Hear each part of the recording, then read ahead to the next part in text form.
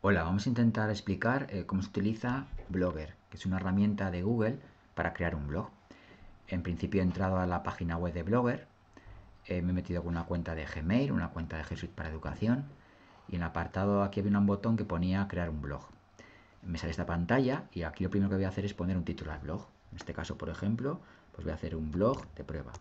Blog de prueba. ¿Vale? Educación. Fijaros que en la parte de abajo va a tener una dirección. Voy a poner, por ejemplo, eh, blog Martín. Fijaros que lo que va a hacer aquí es cogerme una URL. La parte trasera, por decirlo de alguna forma, es fija, es blogspot.com, es el dominio para hacer eh, blog de blogger. Y la parte delantera sí la puedo elegir. Entonces, en este caso, esta palabra elegido. Es muy importante que no exista. Fijaros que si yo pongo aquí ahora mismo esto, me está diciendo que esta dirección ya no está disponible, es decir, tengo que cambiarla. Entonces, por ejemplo, voy a poner blog Martín, pues 17, por ejemplo, ¿vale? sin embargo, sí está disponible. Veis que tengo, tiene el OK. Ahora tenemos que elegir un tema, es un poco el diseño. Pues han puesto nuevos temas en Blogger, pues yo por ejemplo voy a elegir, para hacer una, cosa que quiero explicaros antes, vistas dinámicas. ¿Lo veis aquí? Vistas dinámicas. Y daría crear blog. Bueno, me crea el blog, ahí lo tengo. De todas formas que sepáis que luego puedo cambiar el tema si quisiera. Bueno, en la parte izquierda tengo especie de menú. Lo más importante de un blog son las entradas, ¿no? Un blog no deja de ser una página web donde normalmente se hacen cosas pues periódicas, eh, es decir, es algo como temporal, ¿no? El decir una entrada X día, etc. Se basa en entradas. Entonces lo más importante es las entradas. Para crear una entrada si algo tan básico como, aquí tenéis un botón de entrada nueva, le pincharía. Entrada nueva. Dentro de una entrada, fijaros que tenemos que tener un título de la entrada. Aquí pondríamos un título de la entrada. Por ejemplo, mi primera reflexión. Y aquí escribiría directamente lo que yo quisiera escribir. Yo, por ejemplo, eh, voy a coger texto Loren Ipsum un texto, normalmente se suele poner como ejemplo. Bueno, cojo directamente esto y ya está.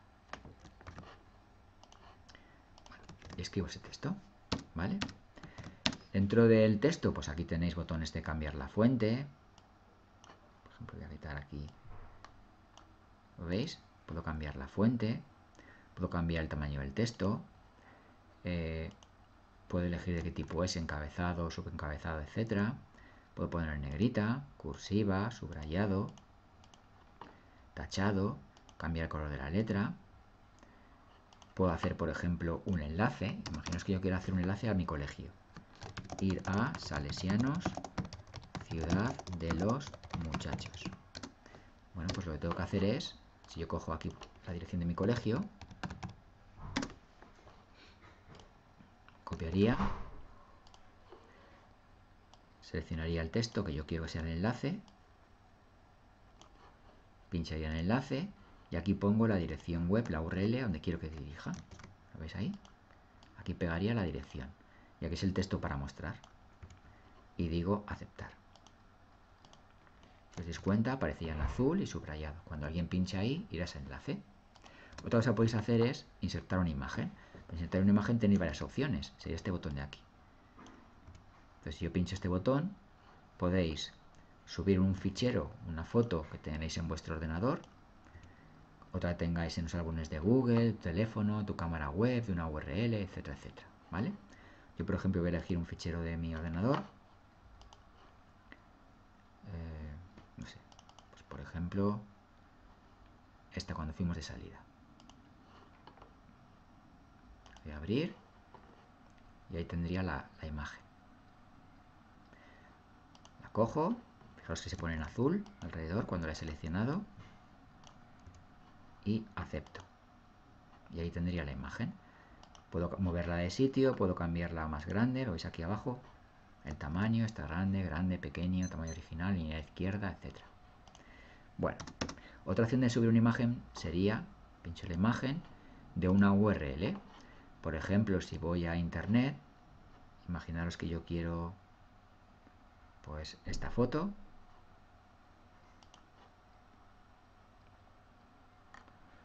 Pues una forma muy sencilla sería botón derecho sobre una imagen y aquí dice copiar dirección de enlace. Según el navegador puede poner pues enlace a la dirección, algo parecido, ¿vale? O ruta o algo así. Entonces voy a copiar la dirección del enlace. Entonces me vengo aquí y desde una URL pego esa dirección. Ahí me sale la foto, ¿lo veis? Y digo añadir. Y ya estaría. Bueno, eso para las imágenes. Bueno, lo acabo de borrar. para atrás. Ahí está. Bueno, lo siguiente que vamos a hacer es, lo siguiente que vamos a hacer es poner eh, un vídeo. Para poder poner el vídeo, voy a quitar esta imagen. Para poder poner el vídeo, voy aquí eliminar. Voy a ir guardando las cosas. Fijaros, una diferencia muy importante es guardar y publicar. Guardar es que se queda guardada esa entrada, pero no está publicada en internet, no está publicada que lo pueda ver el resto de la gente. Pues imaginaos que una entrada la voy haciendo poco a poco y solo hasta que yo no la acabe no quiero que la gente la vea. Entonces, en este caso daría guardar. Si ya queréis que salga públicamente en el blog, daría guardar y publicar. ¿Vale? Entonces, en este caso guardo. Bueno, voy a insertar ahora un vídeo. Para insertar un vídeo sería este botón de aquí. ¿Lo veis? Entonces pincharía en el vídeo y ahora puedo subir un vídeo que tenga mi ordenador local, desde YouTube, etcétera. ¿Vale? El teléfono, etcétera. Voy a hacer lo mismo de antes. Yo voy a buscar en YouTube. Pues imaginaros que... Pues venga, yo mismo. Martín García Valle. Bueno, este. La mesa redonda que tuvimos en el Inter. Pues cojo esta dirección. Control C. Donde pones de YouTube directamente, aquí también podréis buscar, ¿eh? Pero pongo directamente la URL, a buscar, ya me sale automáticamente ese vídeo. Yo lo hago así. Pincho, selecciono el vídeo, selecciono. Y es lo mismo. Aquí no vais a ver el vídeo moviéndose, vais a ver una especie de imagen fija. Pero luego cuando lo veáis en el blog, lo vais a ver que realmente se puede dar al play. ¿Vale? Luego aquí tenéis alguna opción más, como por ejemplo poner eh, caras, emoticonos, ¿no? ¿Lo veis? Caracteres especiales, pues simbolitos. Tenéis una cosa muy importante que es una especie de insertar salto de línea. Esto os voy a poner ejemplo para qué lo utilizo yo. Normalmente en el blog, imaginaros que yo esto lo publico. Si yo lo publicase y tengo muchas entradas, etcétera, pues va a ocupar una entrada, puede ser muy larga. Entonces a lo mejor en la portada principal vas a tener una única entrada. Entonces cosa que se suele hacer es, por ejemplo, escribir el primer párrafo de la entrada y hacer un salto. ¿Lo veis? Entonces lo que se va a mostrar en la página principal va a ser solamente este trocito de cada entrada. Entonces de un solo vistazo va a haber varias entradas. Y si a alguien le interesa una concreta, pinchará sobre ella y ya puede ver todo el contenido entero. Bueno, aquí también tenéis alineación, justificación, eh, numeración con números, viñetas, etcétera, ¿vale? Yo lo voy a guardar y voy a ver en un principio para que podáis ver cómo estoy haciendo el blog. Entonces, lo he guardado y también lo voy a publicar, ¿vale? si lo quiero compartir en Google, yo voy a decir cancelar. Y ahora fijaos, veis que aquí hay un botón que pone un enlace que pone ver blog. Si yo le pincho aquí, directamente me saldría el blog. ¿Lo veis? Y tengo por ahora solamente una entrada. ¿Qué es lo que ocurre? Que he cogido un tema que es un poquito, pues, no es el más adecuado para hacer las entradas. este, este, tema, por ejemplo, me gusta para fotografías que luego os explicaré, ¿vale? Entonces lo que voy a hacer, ya aprovechando, me voy a ir a apartado de temas, lo veis aquí, y voy a cambiar el tema. Vengo en tema, y por ejemplo voy a coger pues este mismo. Este. Veo que me gusta, se parece, y doy a aplicar al blog. Lo veis, ¿no? Y doy a aplicar al blog seguro? Pues... Vale, descargar tema. Vale.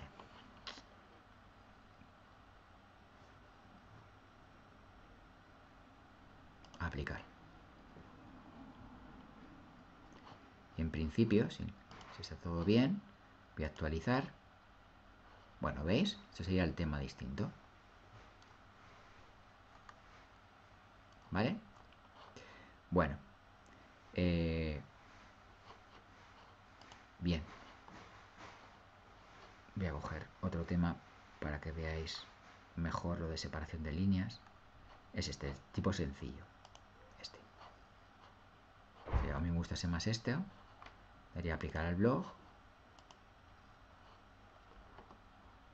A ver cómo se vería. Y ver blog. Ahí tenéis el otro, ¿vale?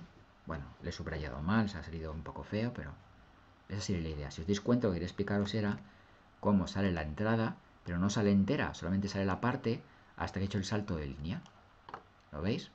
En el tema que pasaba, que por a lo mejor por la estructura del tema, salía la fotografía y el texto, ¿vale? Pero la idea principal es que se salga el título de la entrada y el texto hasta haber puesto el botón de salto de línea, ¿vale? Entonces, en un solo primer vistazo puede tener varias entradas de golpe. ¿Vale? Esa es la idea. Bueno, si seguimos, si seguimos aquí, tenemos por ahora una entrada. Voy a hacer otra entrada nueva para explicar otro apartado más. Una entrada nueva, voy a poner mi segunda reflexión. Voy a copiar y pegar.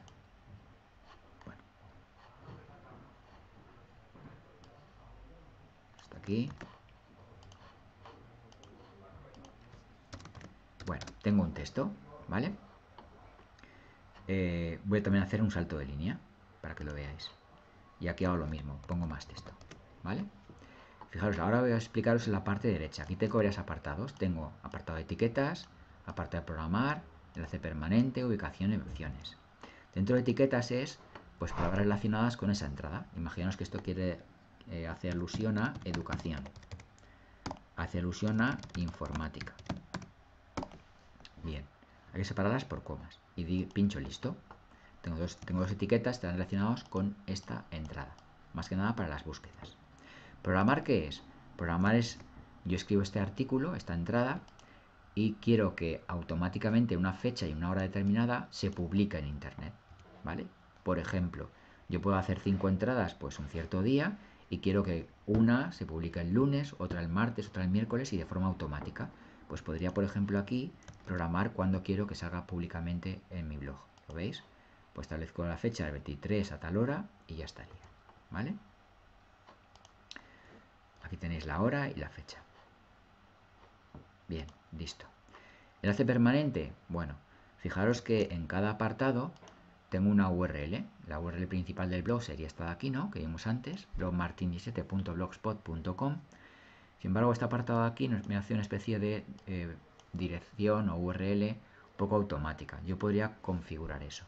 yo podría, por ejemplo, poner aquí enlace permanente personalizado y poder decir que la última página, elegir el nombre de mi fichero que hace referencia a esa entrada. mi segunda reflexión, pues puede ser otra cosa que yo quisiera, ¿vale? Fijaros que más o menos ha cogido algo similar al título de la entrada. Ubicación hace referencia, si quiero tener una ubicación de donde estoy, y opciones me permite varias cosas. Una es si me permite que haya comentarios o no sobre esta entrada y la forma del HTML, etcétera, etcétera. Sobre todo esto de los comentarios, que luego también veremos, ¿vale? Bueno, eso es lo más importante. Yo voy a decir que no quiero conocer la ubicación, que lo bloqueo. Entonces yo voy a guardar y publicar la entrada. Entonces si me fuera directamente a mi blog, voy a cancelar esto y actualizo tendría dos entradas. Tendría la primera reflexión y la segunda. Fijaros que por orden, eh, lo más moderno, lo más nuevo, va en la parte superior. Entonces tendría mi segunda reflexión. Y más abajo mi primera reflexión. Lo que os decía antes, ¿no? Hasta el salto de línea se puede ver. Si quiero leer más, pues pincharía más información en este caso y veía la noticia completa. ¿Vale? Bueno, pues eso es lo más importante en cuanto a las entradas. Luego vamos a ir viendo alguna cosa especial en cuanto al resto de opciones, ¿vale? Bueno, espero os haya servido y seguimos en breve. Chao.